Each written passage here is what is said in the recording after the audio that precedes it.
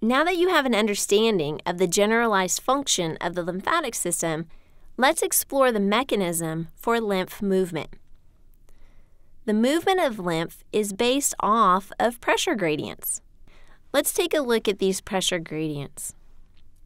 When we're talking about pressure gradients, we're talking about hydrostatic pressure.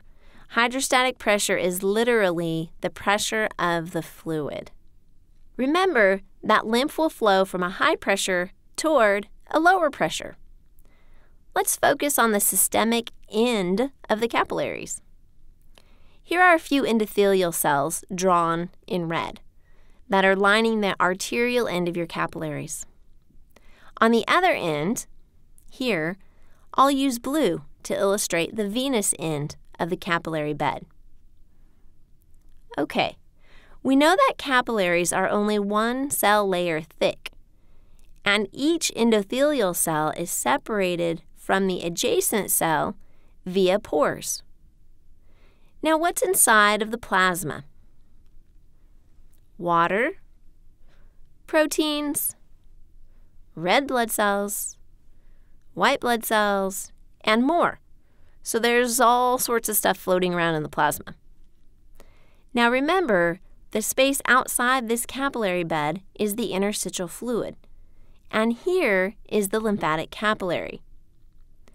So here you can see the relationship between the capillary endothelial cells, the interstitial fluid, and the lymphatic capillary.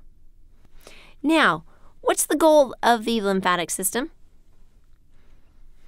To get stuff out of the arterial capillary into the lymphatic capillary bed. So, how is that going to happen? We know that fluid can move from the arterial capillary to the interstitial fluid. And so can some plasma proteins because they are small enough to squeeze through. Now remember that old question what always follows the movement of solute? Survey says water. So the movement of protein from the arterial capillary to the interstitial fluid creates an osmotic gradient. And then water will move from the arterial capillary into the interstitial fluid. So both protein and water then can move into the lymphatic capillaries. So, what has this movement done to the hydrostatic pressure in the plasma on the arterial end? The hydrostatic pressure has decreased. Now take a look at the venous end of the capillary. So now there is a lower pressure in the plasma on the venous end of the capillary that allows the proteins and the water to go back into circulation.